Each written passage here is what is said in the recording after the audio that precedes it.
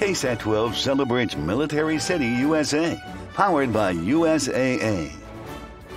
San Antonio has been called Military City USA, and we're showing you why we're at the heart of military training. Operating for nearly 80 years and exclusive to Joint Base San Antonio Lackland is the Inter American Air Forces Academy, or IAAFA.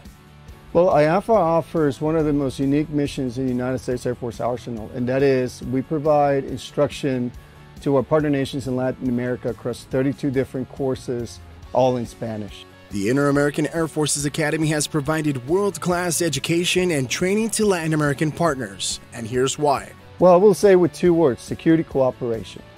In an age where our budgets are, are limited and our ability to do things beyond our borders is limited, we need partners.